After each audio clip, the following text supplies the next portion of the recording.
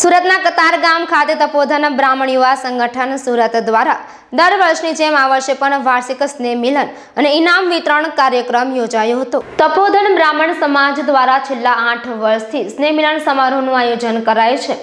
આ વખતે પણ તપોધન બ્રાહ્મણ યુવા સંગઠન દ્વારા કતારગામ ખાતે આઠમો સ્નેહ મિલન સમારોહ અને સમાજના હોશિયાર વિદ્યાર્થીઓને ઇનામ વિતરણ કાર્યક્રમ યોજાયો હતો, જેમાં કતારગામ પીઆઈ સહિતનાઓ મોટી સંખ્યામાં હાજર રહ્યા હતા.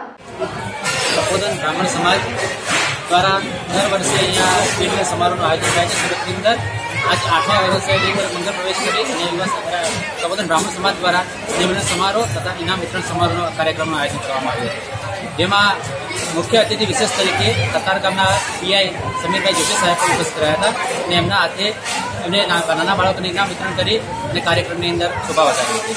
આ કાર્યક્રમની સાથે સાથે અમે સાંસ્કૃતિક કાર્યક્રમનું પણ આયોજન કરેલું હતું જેમાં નાના નાના બાળકો દ્વારા સુંદર મજા ડાન્સ ગરબા અને વાર્તાઓનું પણ વાર્તાઓનું પણ આયોજન કરવામાં આવ્યું કેટલા વર્ષથી તમારું આયોજન ચાલુ હોય છે? આઠ વર્ષથી ચાલુ છે આઠમા વર્ષને પૂરું કરી તપોધન બ્રાહ્મણ સમાજ દ્વારા યોજાયેલ સ્નેહમિલન અને ઇનામ વિતરણ કાર્યક્રમ સાથે સાંસ્કૃતિક કાર્યક્રમ પણ યોજાયો હતો. Bureau report L K star news, Surat.